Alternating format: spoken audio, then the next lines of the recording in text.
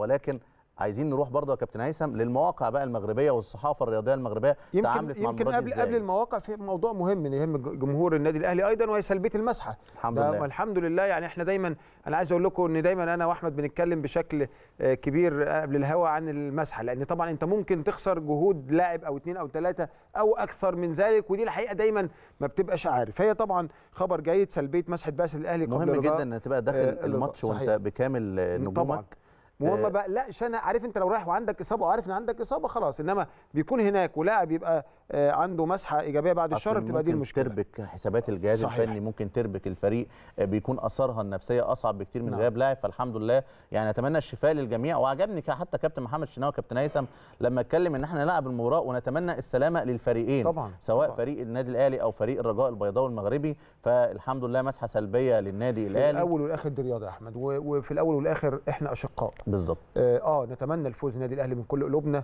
ونتمنى نحقق ثلاثية آه، يعني تاريخية آه، في تاريخ النادي الأهلي ولكن في الأول والآخر دي رياضة ودي لقطات من أخذ العينات أو ياسر إبراهيم مقدم موسم كويس نتمنى يتم يعني آه،. جميله معانا كده ويقدم نفس الأداء الراقي رجولة اللي رجولة بيقدمه الفترة. الأخيرة وطبعا ده محمود متولي يعني طال الغياب يا محمود ولكن بس حلو ياخد المسحه ال- الجهاز الطبي وبعد كده ياخد صور مع اللاعبين تبقى حاجة حلوة جماهير. النادي الأهلي بالت- بالتأكيد مفتقدة مسحة جونيور أجاييه اللي كانت دايما بتتصدر وكانت بتبقى الترند دايما آه، لكن كان بيجري من آه، آه، المسحه ما كانش لا آه، كان عنده مشكلة آه، كبيره كان. كل مسحة كأنها معاناة بالنسبة له يعني خلي بالك برضو يعني. آه يعني خلي بالك برضو تحس إن اللاعبين بقوا خبرة خلاص يعني بص يعني كل اللاعبين بقت خبرة في موضوع المساحات لأن كل بلد راحوها أو كل مباراة بيتعرضوا أيمن آه، أشرف آه، برضه. يعني نتمنى يكون موفق بكرة يعني كابتن أحد كباتن النادي الأهلي. برضو صورة هي الصورة نفس لا الصورة. خلاص يعني انت أنت نجم خلاص في كل مكان. لاعب منتخب. مصر ولاعب النادي الأهلي وكابتن محمد شناوي اللي عليه عامل كبير جدا بكرة. طبعاً. كابتن محمد الشناوي ربنا يعني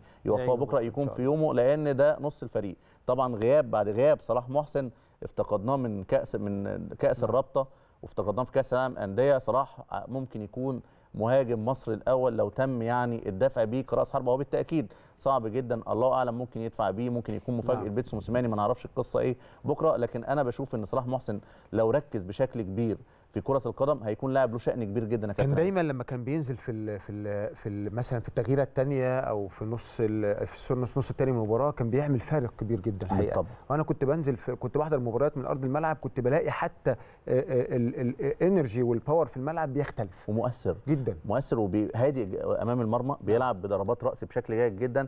حتى كمان الانفرادات يمكن نتذكر الموسم الماضي الهدف في اونيانجو في صن داونز في دور الثمانية في الدقيقة 92 وهدفه طبعا في شباك نادي الزمالك بعد ما رقص عواد وكابتن محمود علاء وسجل هدف فيعني مهم جدا مهم جدا يكون صلاح محسن أحد الأوراق المتواجدة في فريق النادي الأهلي الفترة القادمة والاعتماد عليه بشكل هيفيد بالتأكيد ويدي قوة بالتأكيد للاعبي النادي الأهلي وفريق النادي الأهلي نروح بقى آه، لأخبار. مكه ولا أنت عايز إيه لا تاني؟ نروح لأخبار المواقع لأن لازم نحط الجماهير جماهير النادي الأهلي في الأجواء داخل المغرب آه، آه، يعني الصحف الصحف الرياضيه والصحف بشكل عام بتكتب إيه اتفضل يا أحمد ابتدي. إحنا عندنا طبعا الطوسي كان بيتكلم في أحد المواقع وقال إن آه، يعني الهدف الذي سجلناه في مباراة الذهاب ثمين ويجب استثماره. طبعا هو بيلعب على فكرة قاعدة الهدف بهدفين. هي طبعا اتلغت آه، خارج في أوروبا طبعا واتطبقت السنة دي في أوروبا وشفنا مباراة ريال مدريد وتشيلسي راحت ال extra time برغم إن النتيجة نعم. كانت 3-1 وحتى لو كانت غير كده كان برضه هيروح لل extra time. بس يلا يعني نتمنى آه، التوفيق لليفربول في البطولة دي. مدرب الرجاء لن نهاجم بجهل ولا يجب أن نبالغ أن نبالغ في شحن اللاعبين. لا هنا بس هنا آه هنا بانت بقى التأثير الجماهير على اللعيبة. هو خايف من الحتة اللي إحنا قلنا عليها. بالظبط. إن يبقى الشحن سلبي وليس إيجابي. وكلمة لن نهاجم بجهل هو واضح إن هو ينزل يلعب مباراة متزنة. أنا متأكد مليون في المية من تصريحات رشيد الطوسي حتى هو في القاهرة إن هو كان بيحط كل الأمور على آه، عبء الجماهير لأن عارف إن النادي الأهلي فنيا أفضل بكتير. وهنا الطوسي يختار إنهاء استعداداته الاهلي في ملعب جديد. طبعا ما تدربوش على ملعب المباراة واختار يكون المعسكر في سرية تامة نوع من أنواع يعني التركيز في المباراة. وأنا حابب التركيز العالي ده أتمنى يكون تركيز زيادة عن اللزوم. وطبعا في بعض اللاعبين غابوا عن فريق الترجي في المباراة الماضية على رأسهم عمر العرجون. وعمر العرجون ده تحديدا يا كابتن هيثم كان بيشكل عبء نفسي كبير جدا على رشيد توصل لدرجة إن هو عنده إصابة في مشط قدمه وأصر إن هو يحضر مباراة الذهاب. هو أكتر لاعب ممرر في فريق الرجاء بيعتمد عليه بشكل كبير جدا وهو بيحاول إن هو يدفع بيه في المباراة. مش عارف هيكون بكرة في التشكيل الاساسي ولا لأ. بس تفتكر حتى لو كان هو جاهز ولا لأ؟ يعني يعني حتى لو يعني حتى لو هو جاهز آه، يعني بدنيا من الإصابة يعني هل هو هيكون جاهز للمشاركة يعني أمام فريق كبير زي الأهلي وهو ما شاركش قبل كده في مباريات لا خليني أقول لك النقطة الأهم غيابه هيأثر سلبيا لأن رشيد توصي مقتنع بيه تماما وتستشعر إن هو بيفتقده بشكل كبير جدا نعم. لو غاب هيؤثر عليه سلبيا نعم. وجوده في الملعب ممكن يمنح الفريق اريحيه آه.